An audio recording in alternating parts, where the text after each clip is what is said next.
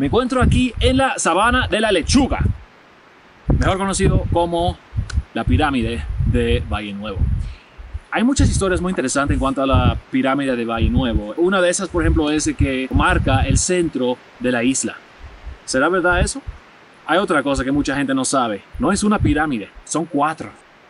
Y porque le dicen la pirámide cuadrangular, cuatrelucur. Le dicen la pirámide cuat, Cuatrelucur.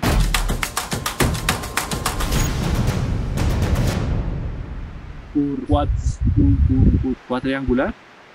Más complicado de hecho el nombre. Cuatriseccionada. La pirámide ciclópea cuatriseccionada. Ese es el nombre completo. Es un término popi para decir pirámide construida al estilo ciclópea cortada en cuatro pedazos.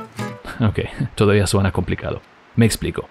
Se llama ciclópea a una construcción o monumento realizada con piedras sin alguna clase de cemento o pegamento. Es una técnica típica de algunas construcciones antiguas y es un arte ya poco visto y por ser algo más típico de épocas pasadas, se entiende que algunos quizás piensen que esta construcción es de tiempos precolombinos. La verdad es que apenas tiene unos 60 años de edad.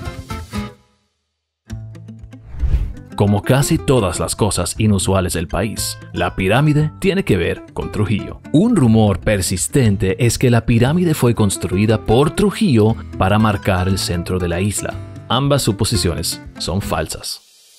Primeramente hay que reconocer de que la pirámide no marca el centro de la isla. Porque entonces yo estaría parado ahora mismo en el centro de la isla y... Um, y ese no es el caso. Aunque a primera vista podría parecer, la pirámide no queda en el centro de la isla, y menos todavía en el centro del país. Tampoco está orientada según los cuatro puntos cardinales. La razón de su ser realmente tiene que ver con la carretera a su lado. Después de una visita a Valle Nuevo, Trujillo decidió explotar sus riquezas y mandó a construir la carretera que ahora cruza desde Constanza a San José de Ocoa. La carretera abrió el acceso a ese territorio virgen y eso le ayudó a la economía tanto de Constanza como de Ocoa, por lo cual varios personajes de los municipios decidieron darle las gracias a su benefactor con un monumento, supuestamente justo en la división de ambos municipios, según varias fuentes. San José de Ocoa, Constanza. San José de Ocoa, Constanza. En dos lugares en el mismo momento. Pero al editar este video nos dimos cuenta que la línea municipal y del distrito realmente ya no queda en la pirámide, sino aquí abajo. Así que, bueno, ahí se me cayó el chiste. El diseño y la construcción le fue asignado al arquitecto Julio Alejandro Hernández Santelices, quien también diseñó el Centro de la Cultura de Santiago. Además, fue padre de la destacada cantante Maridalia Hernández, quien fue parte del popular grupo 440.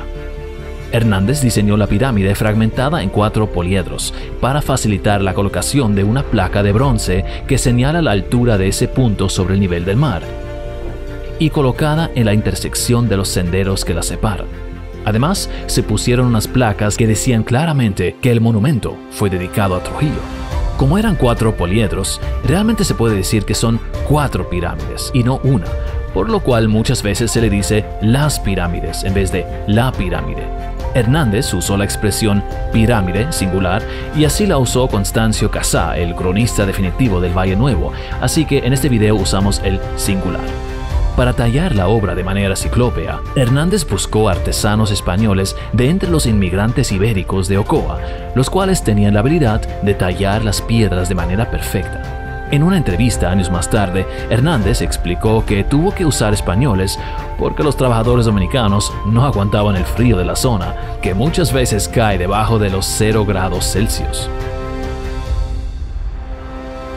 El monumento fue dedicado el 1 de enero de 1959, coincidiendo con el primer centenario de San José de Ocoa. Fue un evento asistido por todos los peces gordos de ambos municipios, así como por varios integrantes de la corte de Trujillo. Después de la ceremonia, el conjunto se separó rápidamente, probablemente por el frío a estas alturas, para dos fiestas, una en Ocoa y otra en Constanza. Lo interesante es que en la ceremonia, el invitado de honor brilló por su ausencia. Trujillo no pudo asistir y la culpa la llevaba Fidel Castro.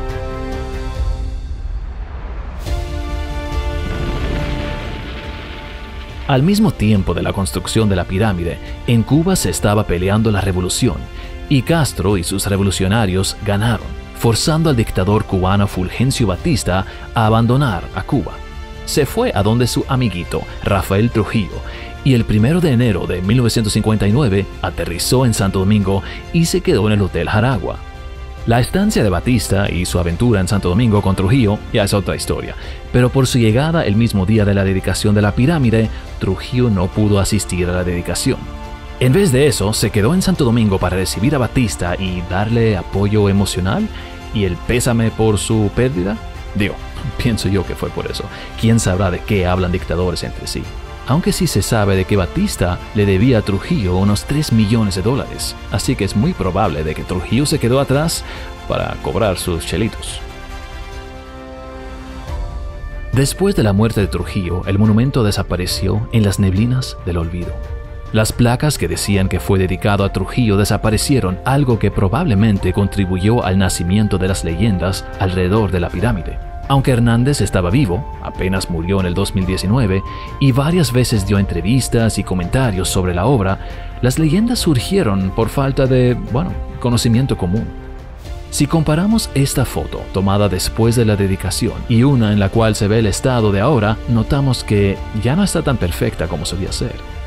Las piedras brillantes y polidas, sus líneas rectas y sus puntas precisas ya desaparecieron con los años por culpa de la meteorización y los locos que se subieron. Y aparentemente se tuvo que reparar el monumento varias veces con cemento, por lo cual las piedras ya no están pegadas de la forma perfecta, es decir, ciclópea, como solían estar. La pirámide que vemos hoy es solo una sombra de la obra precisa y nítida que solía ser y quizás deja una mala impresión sobre la obra de arte que es y el trabajo que Hernández y los artesanos españoles pasaron congelándose con un frío ahí arriba para un dictador que al final nunca vino a ver su propio monumento.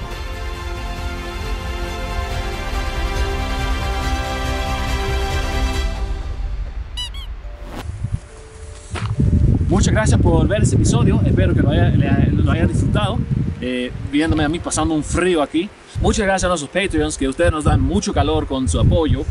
Hay calor, quisiera tener eso ahora. Si también nos quieren apoyar en Patreon, entonces pueden darle un clic al enlace y si no nos pueden apoyar, pues comparten por lo menos el video con sus amigos, con sus familiares, con, con, todo el mundo. Eso es el apoyo y la ayuda más grande que nos pueden dar. Si quieren ver más episodios acerca de historia y curiosidades de la República Dominicana, no olviden de suscribirse y denos un, uno de esos.